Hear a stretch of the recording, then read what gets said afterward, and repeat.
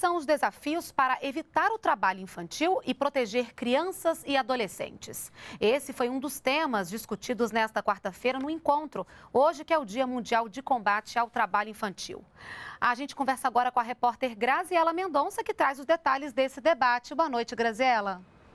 Boa noite, Renata. O trabalho infantil é um problema mundial. Considerando apenas o trabalho doméstico, já são mais de 10 milhões e meio de crianças nessa situação, segundo dados divulgados ontem pela Organização Internacional do Trabalho. No Brasil, o governo desenvolve políticas para enfrentar o problema. Sobre o assunto, eu converso agora com Luiz Henrique Ramos, chefe da Divisão de Fiscalização do Trabalho Infantil do Ministério do Trabalho e Emprego. Boa noite. É, quais qual é a situação do Brasil hoje no que diz respeito ao trabalho infantil? Boa noite, Graziela.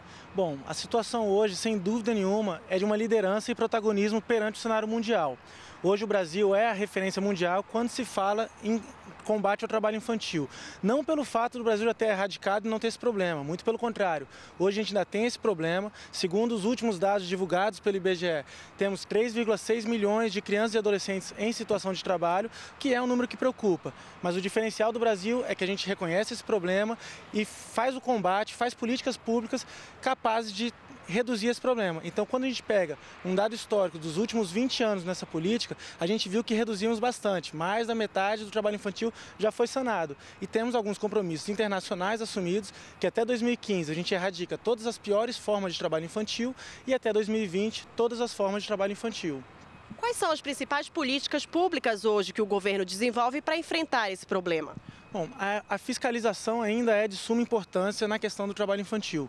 Então, os auditores fiscais do Ministério do Trabalho vão a campo e tentam retirar essa criança do, de uma situação de trabalho.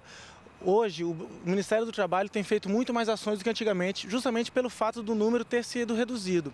Então, é muito mais difícil encontrar uma criança em situação de, de irregular de trabalho. Então, a gente tenta sanar todos os problemas que levaram aquela criança à situação de trabalho, articulando com outras ministérios e, e, instituições da rede de proteção à criança ou adolescente.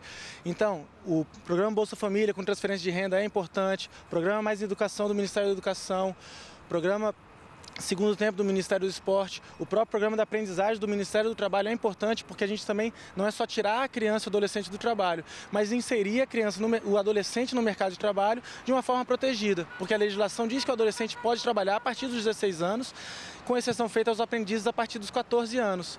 Então, nesse caso, a gente estimula o, o, o trabalho, estimula o emprego de uma forma protegida. Qual é o principal desafio hoje do combate ao trabalho infantil?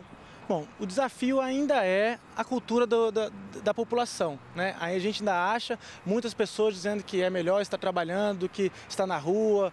E, então a gente tem que mudar essa mentalidade e dizer que o lugar da criança e do adolescente é na escola, é tendo uma educação de qualidade e não somente ter, tendo essa dicotomia dizendo que ou está tra trabalhando ou, ou, ou, ou está no crime ou está trabalhando. Né? Então tem que ter essa mudança de cultura mesmo. E esse é o maior desafio da, da gente ainda. Muito obrigada pela sua entrevista. Lembrando que esse ano, em outubro, o Brasil vai sediar a terceira Conferência Global sobre o Trabalho Infantil aqui em Brasília.